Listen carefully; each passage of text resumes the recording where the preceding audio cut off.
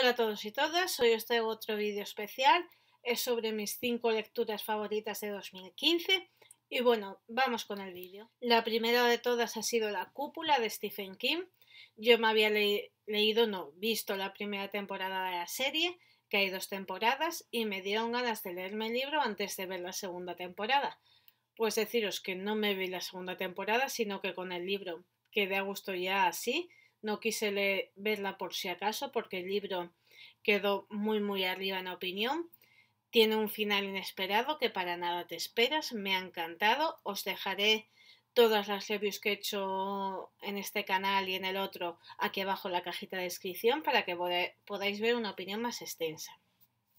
En segundo lugar, ha sido una saga de libros, ha sido Blue Exorcist de Kazue Kato. Eh, también os dejaré los links a los vídeos aquí debajo.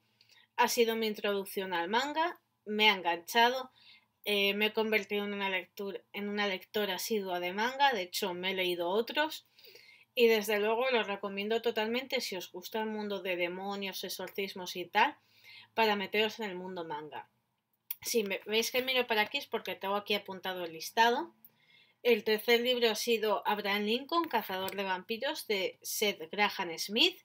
Es un libro al que le tenía ya ganas desde hacía tiempo porque a mí todo el tema de Lincoln me encanta. Y me decidí a leer este libro y cabe decir que me sorprendió para bien, me enganchó.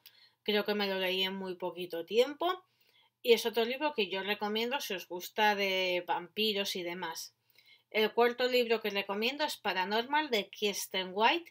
Es una trilogía, es un libro que me había regalado una amiga que no sabía que era una trilogía.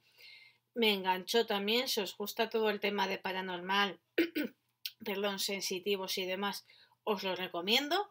Y como último libro, otro de manga, es El Club del Suicidio de Usamari Furuya. Como veis, todos los libros tienen que ver con cosas paranormales o de vampiros y cosas así. El Club del Suicidio me enganchó. Es un libro único nada más. Os dejaré también el link aquí abajo. Y bueno, estas son mis cinco recomendaciones de libros que he leído en el 2015. Como siempre espero que os haya gustado, que le deis a me gusta, os suscribáis a mi canal y lo compartáis en todos vuestros en vuestras redes sociales y muchísimas gracias por estar ahí.